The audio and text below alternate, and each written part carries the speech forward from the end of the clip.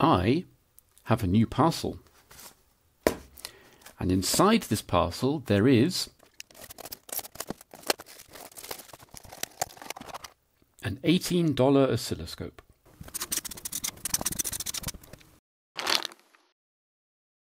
What we have here is a FNIRSI DSO152 battery powered pocket oscilloscope. These are available for about 20 francs, euros, dollars from the usual sources. They're currently doing a bit of the rounds of the YouTube channels, and I saw them and I thought they look cool, so I decided to get one and have a look at it. And I have to say, I am honestly quite impressed. It's small, as you can see, but it is surprisingly well made, solid feeling it doesn't feel cheap, it's quite heavy in the hands.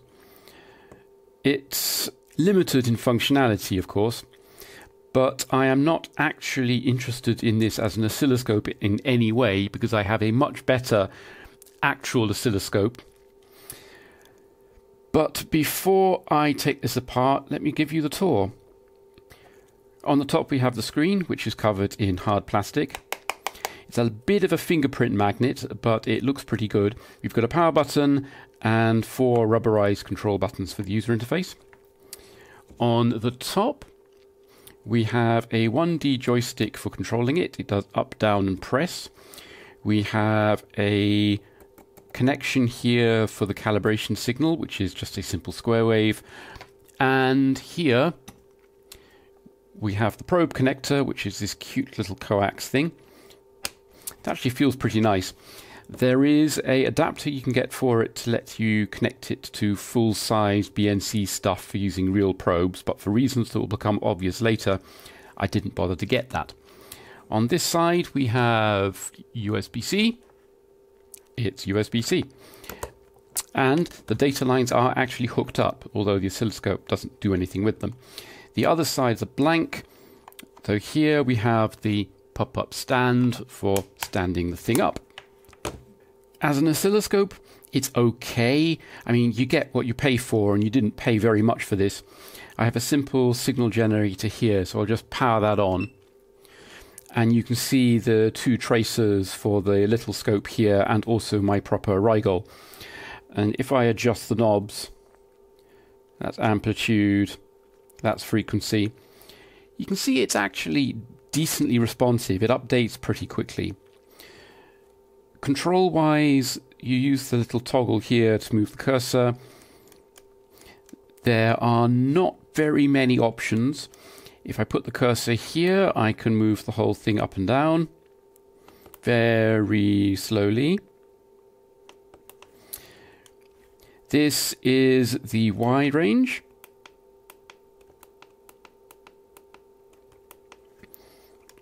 This lets you change the times 10 attenuation for using a proper oscilloscope probe. The probe I got with this is just a couple of crocodile clips, so that's set to times 1. We have, oops, put that back. We have the time base. It goes up to 200 kilohertz, which is not a lot that's not really useful for doing anything microelectronics wise, but for anything analog related, it's okay. We have the AC DC decoupling. This is currently set to AC. If I set that to DC, we get a big offset, which is correct. This is this signal generator offsets everything to about plus 9 volts. So if we change this, we can see there is the signal. And we can actually do the same on the Rigol. If I change that to DC and adjust the trigger position, there we go. And let me adjust the trigger accordingly here by moving the right hand cursor very slowly. And there we go. You do get positive versus negative uh, edge detection for sync which you adjust by. Nope, not that one. By doing that. And there's a little icon there to tell you what it's set to. You get automatic mode where it runs continuously, but only when it gets a trigger. If it doesn't get a trigger, it's got a bit of a tendency to just like stop dead. You get normal, no idea what that is. The manual is very little use. And you get single, where it takes a sample every time you press the run button. We put that back to auto, and then I need to press run, and it set it running again. It's got auto range selection, although the last time I tried it, the firmware crashed. When I first got this, I thought that it was broken and it was just going to be complete junk because I couldn't get it to produce any sensible results at all. Turns out that there is a calibration procedure you have to go through, which the manual doesn't say is compulsory, but is compulsory. And I tried the range selection before then, so let me just try that and see if it still crashes. No, it actually picked something relatively sensible.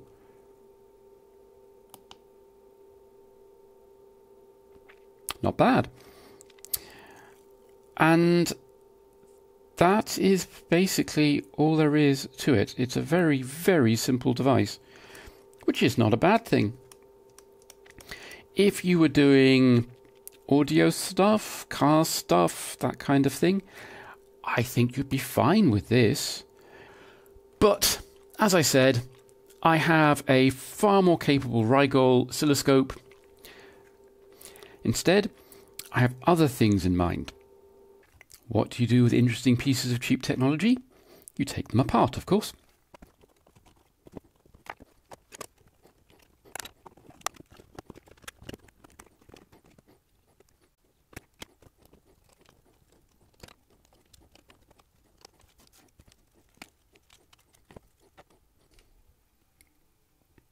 It was commendably easy to open with a nice solid chassis and proper screws. Anyway, here we are looking at the PCB, and there's not a lot on it, which is a good thing, really. Here we have the USB-C connection, and I bet this is the PHY and power controller and charger chip. Here we have the connection for the lithium battery, which does say on the outside that it's a 1000 milliamp hour 3.7 watt hour job. We have assorted glue chips here, but over here is the bit that I'm interested in. I have actually seen this torn down before. Because if I zoom in a bit further and tilt it a bit, the lettering shows up, and it is in fact a CH32F103. That's an ARM. It's a really well understood and cheap ARM. And what do we have down here? Well, there it says SWD. This is a debugger interface. This is an ARM processor with a debugger interface. There must be something interesting I can do with this. The CH32F103 is one of a line of microcontrollers by WCH, also known as Win Chip Head, although I've never heard anyone call them that. In Chinese, that's Nanjing Qinheng. WCH made the press last year for producing one of the cheapest RISC V microcontrollers ever, which was also a CH32. That was a CH32V model. This is a CH32F, which means it's an ARM model. This is in fact a straight copy of ST Microelectronics ubiquitous STM32, which is a cheap, capable microcontroller that you find everywhere. I have like this is a generic blue pill, even though it's black, based on an STM32F103, the same chip that this is, although the ST Microelectronics version. I have lots of them. They are super cheap. But this is a good thing because it means that any software that runs on one of these should run on this. This particular model has 20k of RAM and 64k of flash. There is a built in bootloader which is capable of starting the system from SPI flash, but I don't believe that this is set up for it. The datasheets are all readily available, there's Arduino support, etc., etc. So I think I have a good chance of doing something interesting with this board. However, the first thing that needs doing is, of course, to solder some pins onto the debug port so that I can actually, you know, do something with it.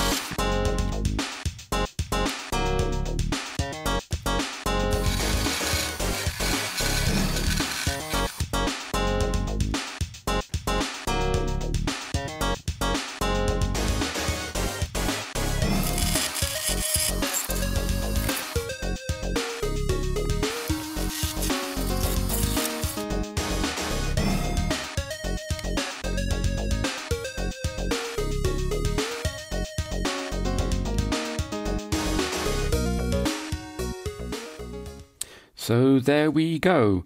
Soldering the pins on was trivial. Less trivial was cutting the slot in the case so that I can put it back together and still have the pins exposed.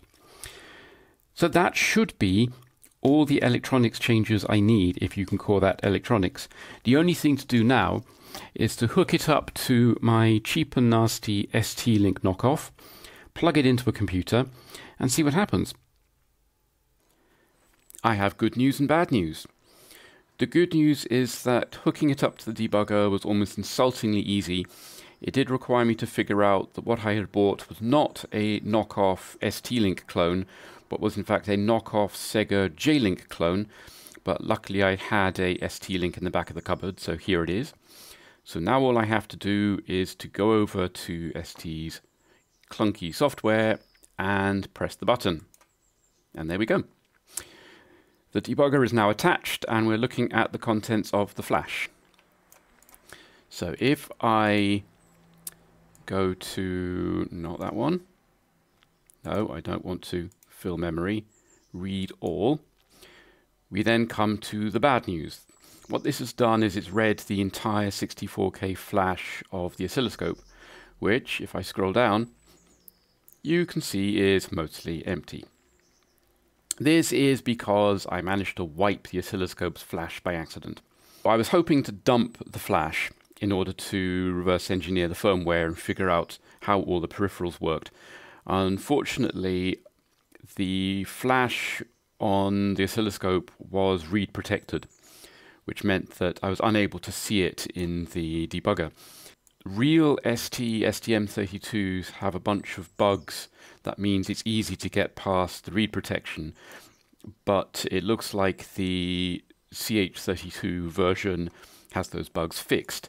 And while I was fiddling with it, I accidentally pressed the wrong button in piece of software, and it reset the read protection and at the same time wiped all the flash off the device. So I now have a completely blank device, apart from this stuff at the top, which I wrote and no idea how any of the peripherals work.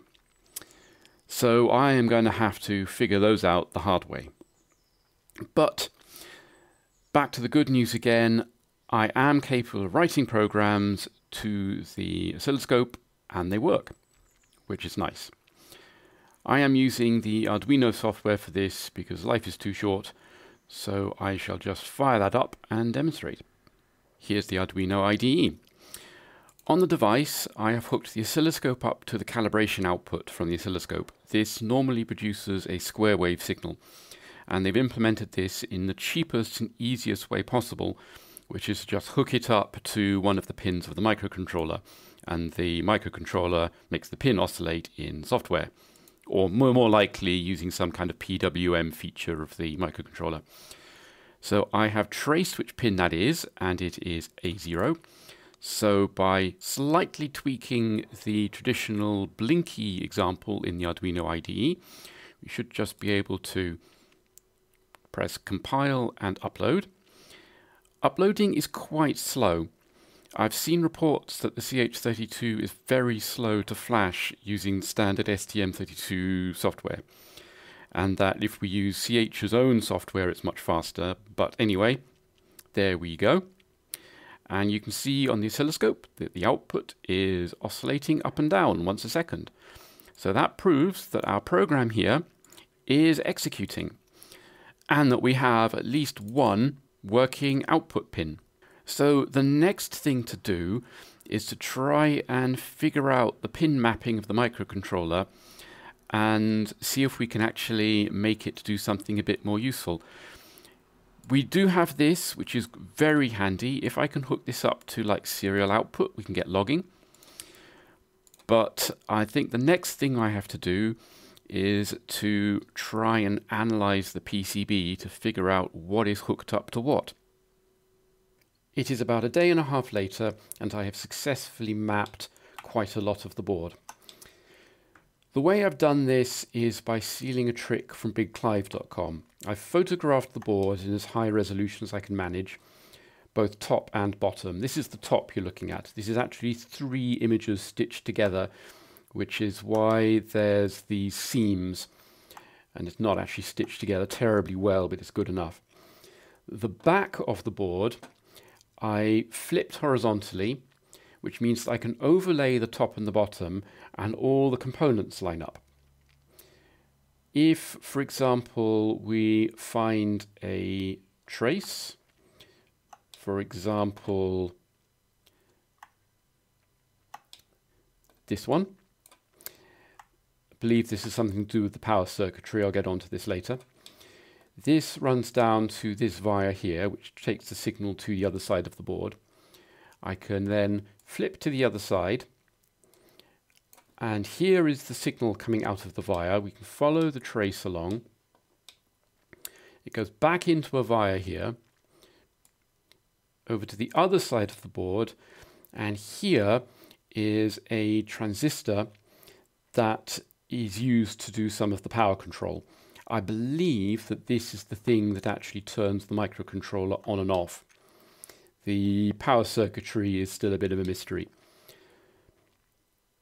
This was all somewhat harder than it should have been because FNIRSI, in their wisdom, have decided to paint the board black over the top of all the tracks, meaning that it was really hard to actually get a good picture which is why the lighting is all weird and stuff is oversaturated. But it's good enough. Some parts of the board I haven't bothered to look into. For example, all this stuff up here is the analog side of things.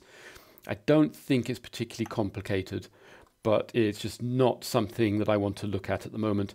I believe the signal comes in through this brass connector, uh, it gets routed through various amplifiers and attenuators this top chip is, I believe, an op amp.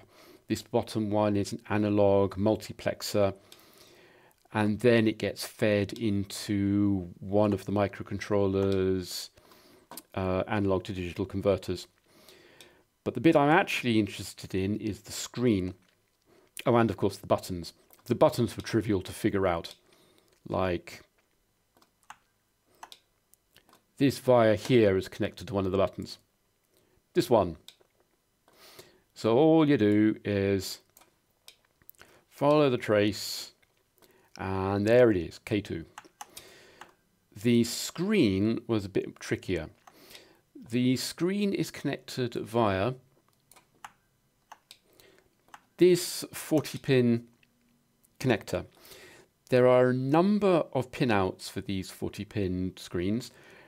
However, I managed to track down which one it was, so these are, as far as I can tell, the correct pin names. The problem is that this connector and the actual microcontroller on the other side are quite big, and the tracks run underneath them. And obviously, I have no idea what the tracks are doing inside all this. So here is a thing. This via gets routed down and I lose it under the board. What pins is it connected to?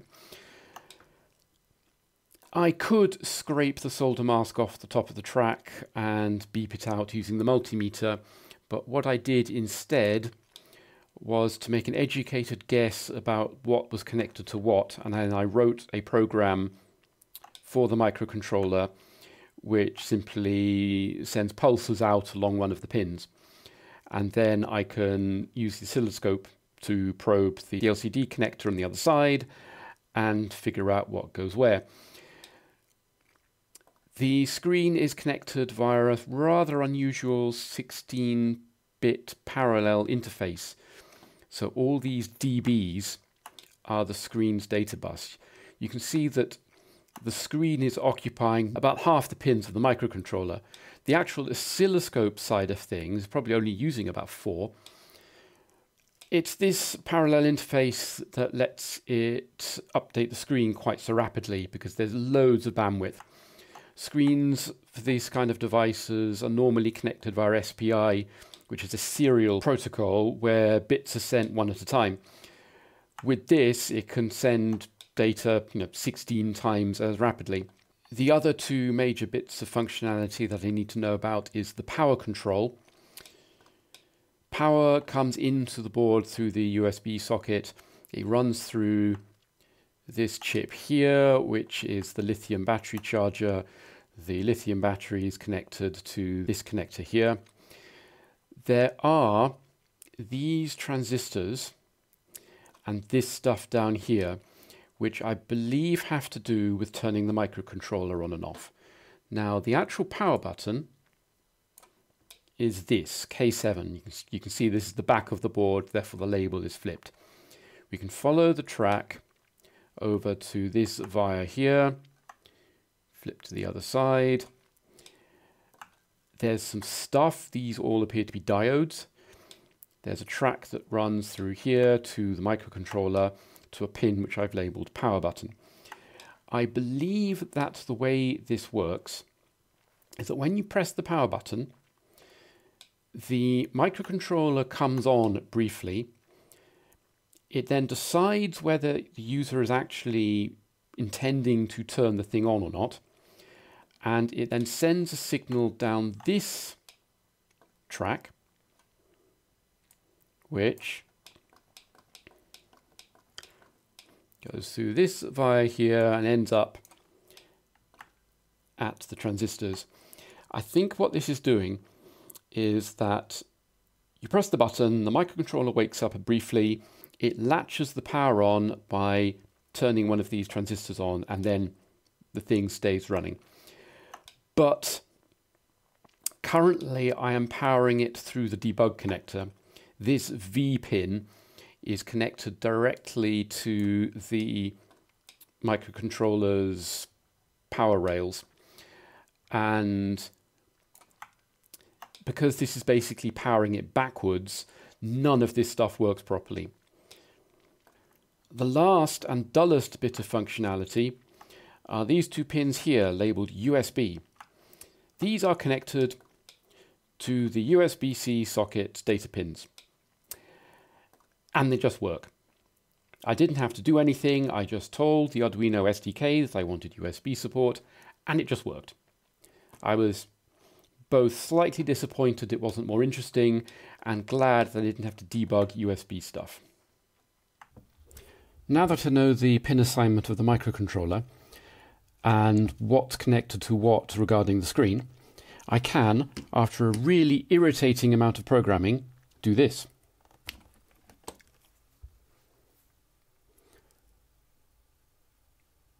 Okay, it's not very exciting, but it does demonstrate that I'm capable of initializing the screen and writing to the screen's video memory.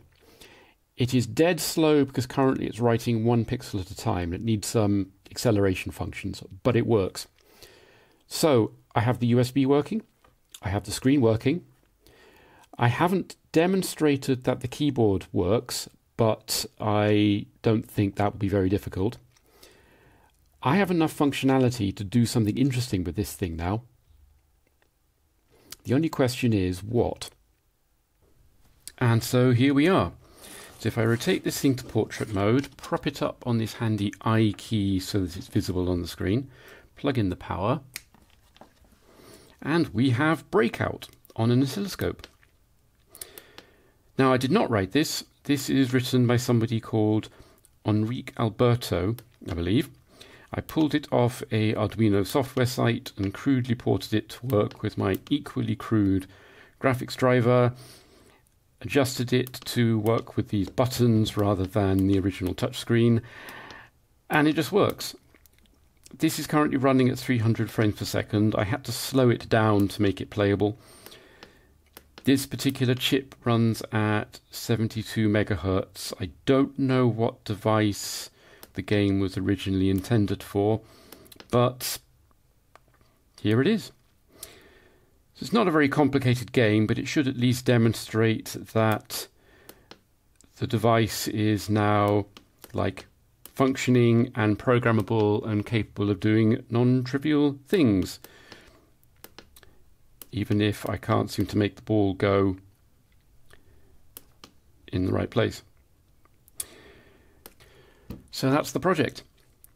There's still stuff to do. Figuring out the power circuitry. Currently, the battery is not plugged in. This is being run entirely from the debug port. Figuring out the analog circuitry, which is moderately complicated. There's various things you can control to change the analog stuff. I don't do analog, so I don't know anything about that. I hope I've demonstrated that this is a decent, capable, and very hackable little device the hardest part of the entire project was sawing the slot for the debug cables here.